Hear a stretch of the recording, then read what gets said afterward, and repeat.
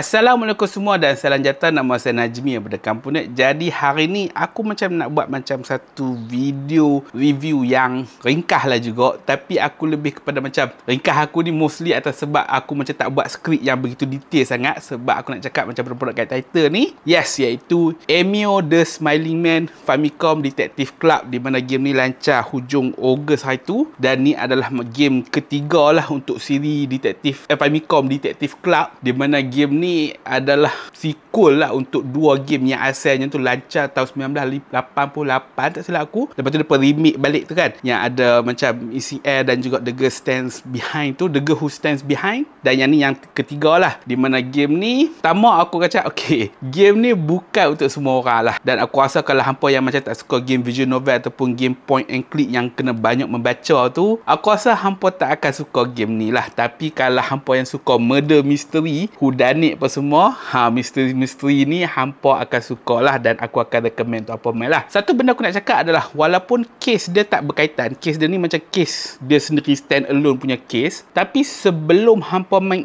MU ni memang aku recommend lah untuk hampa main uh, dua game sebelum ni iaitu The Missing End and The Girl Who Stands Behind di mana kedua-dua game tu yang prequel tu dia macam provide backstory lah juga untuk karakter hampa terutamanya dua watak utama yang ada dalam game ni. Jadi okey sebelum kita mula uh, video ni jomlah kita cakap dulu apa ni? Apa Emio the Smiley Man ni apa benda? Benda simple yang aku akan cakap adalah dia adalah visual novel point and click game di mana hampa akan siasat macam satu pembunuhan yang akan berlaku dekat Kofuku City ni kan? Dan hampa akan siasat lah berkenaan legenda Emio the Smiling Man ni. Dan seperti screenshot aku tunjuk ni hampa memang akan siasat lah hampa akan cakap dengan polis lah hampa akan cakap dengan detektif pun semua dan hampa akan tengok crime scene lah hampa akan buka hampa punya buku nota apa semua tu untuk nak cari bukti cari clue untuk nak selesaikan misteri Emil Smiley Man ni lah. Ok gameplay wise dia aku akan cakap lah kan. Game Emil the Smiley Man ni dia sama gameplay dia dengan yang game The Missing Air yang game sebelum ni. Dari segi gameplay aku akan cakap dia tak ada anything yang bau sangat lah. Mostly apa yang hampa buat macam aku tunjuk tadi hampa memang akan klik-klik lah. Macam hampa kena talk, call, engage segala benda macam crime scene pun semua tu hampa akan pilih serta-serta topik tu nak cakap. Lepas tu apa yang beza kali ni pun hampa macam boleh guna watak lain untuk nak buat investigation tu juga. Dan setiap habis chapter tu hampa macam akan ada macam satu session untuk hampa review untuk hampa susun balik segala clue segala investigation ataupun technically recap balik balik lah hampa punya investigation setiap chapter tu untuk hampa macam compilekan dalam hampa punya siasatan dan segala bukti apa yang hampa dah kumpul dah lah. Tapi overall game ni kan aku akan cakap kalau hampa main dia memang rasa macam satu anime yang panjang ada 12 jam di mana siap dekat hujung epilog tu siap ada macam satu full anime animation lah. Uh, satu episod dalam 20 minit macam tu dan memang aku akan cakap game ni sesuai kalau hampa just duduk relax kalau hampa yang macam tak nak cari sesuatu yang ada gameplay sangat. Dan memang aku akan cakap dia punya gameplay memang sangat-sangat minimal lah. Aku akan cakap lah kan Emio the Smiling Man ni bagi aku game satu game yang aku cakap unik jugalah. Dan macam aku cakap tadi kalau hampa yang suka murder mystery yes hampa memang kena main gini. Bagi aku ni antara story game daripada Nintendo. Nintendo yang publish game ni dan memang dia khas dekat Switch saja antara story Nintendo yang paling menarik dan dark sebenarnya apa yang Nintendo pernah buat kan memang dalam game ni banyak benda going on tau. Macam ada jump scare pun ada. Memang ada certain moment tu yang agak creepy juga. Dan memang hampa kan ada certain moment tu bila aku main aku macam shit Nintendo hampa boleh dah buat macam ni dalam video game kan. Dan aku rasa macam aku aku gerak tak? Sebab aku tak tak ramai orang akan main atau sebab gameplay dia memang sangat-sangat tedious tau. Mostly hampa memang kena buat macam try and error je. Hampa kena klik certain benda ataupun certain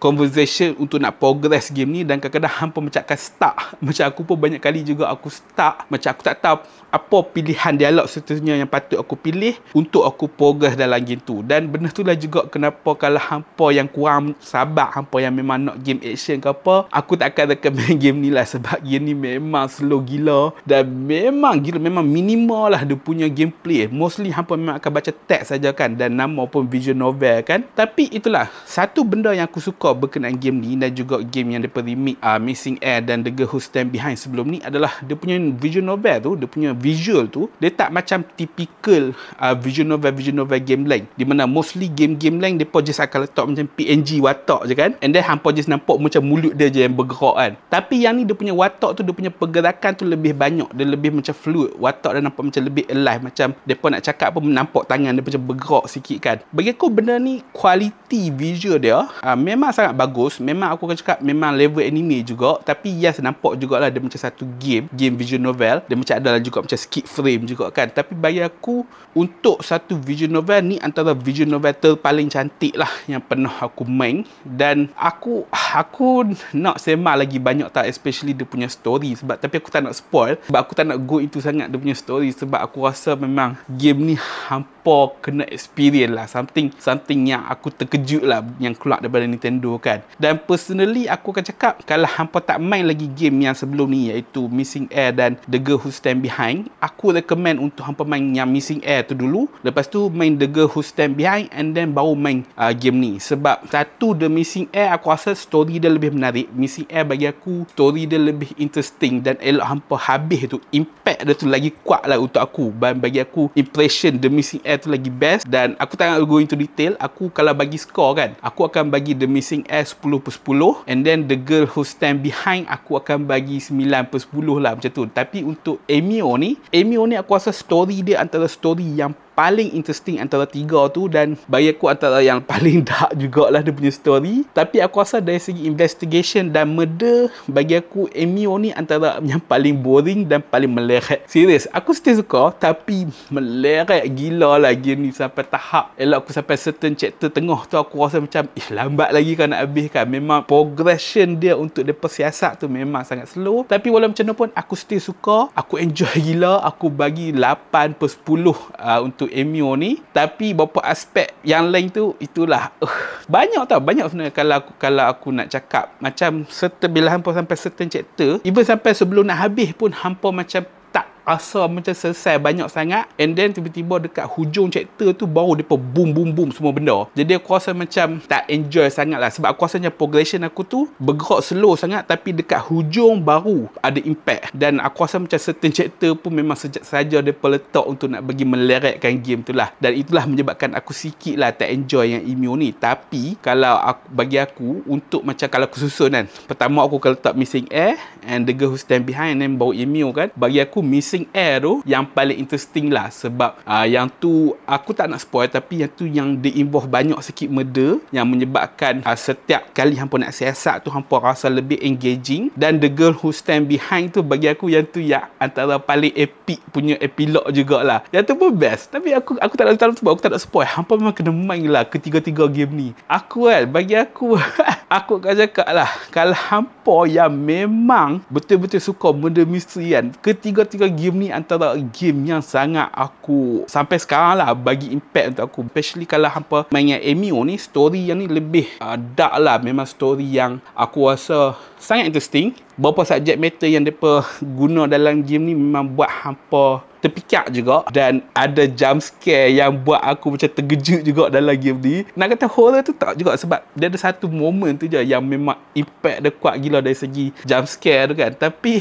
aku recommend lah aku recommend lah untuk apa main game ni. Dan satu lagi aku nak puji jugalah dekat Nintendo sebab mereka revive balik tau IP Famicom Detective Club ni. Famicom ni kalau tak tahu tu adalah nama konsol uh, NES tu. Tapi yang Jepun punya nama kan family computer kan Famicom. Dan game ni lancar 1988 lebih daripada 30 tahun dulu kan. Memang aku rasa macam hebat lah hebat untuk dia revive balik IP yang dah lama dah. Lepas tu dia buat sequel lah dia dah remake lepas tu dia buat sequel pula kan. Dan itulah kalau hampa yang suka macam benda mesti hudanit macam Ace Attorney ke dengan rompa apa semua tolonglah main game ni. Percayalah hampa akan enjoy game ni. Tapi kalau aku aku nak cakap lagi ya. Banyak benda tak aku nak cakap pasal gini. Tapi okey aku stop lah sebab aku memang tak nak spoil. Aku nak hampa main dulu dan maybe nanti aku akan buat macam spoiler talk ke apa. Maybe kalau hampa nak, kalau hampa nak aku buat spoiler talk ke apa, ah, tinggalkan kat komen kat bawah. Aku kalau daripada hampa yang main game ni. Tapi macam mana pun aku tak rasa ramai akan main game ni sebab dia punya gameplay tu yang memang slow apa semua. Tapi walau macam mana pun tinggalkan segala pendapat hampa dekat orang komen di bawah lah. Tolong jangan spoil untuk sesiapa yang dah pun main. Dan kalau hampa berminat untuk nak cari lagi murder mystery tak kisahlah siri ataupun uh, movie dekat Twitter aku ada buat thread seperti nampak ni iaitu thread yang aku buat dekat Twitter dengan hashtag Najmi Satsujin Jiken. Kalau hampa faham maksud Satsujin Jiken tu hampa tahulah betapa aku sukanya elemen uh, murder mystery especially murder mystery Honkaku punya style kan. Dan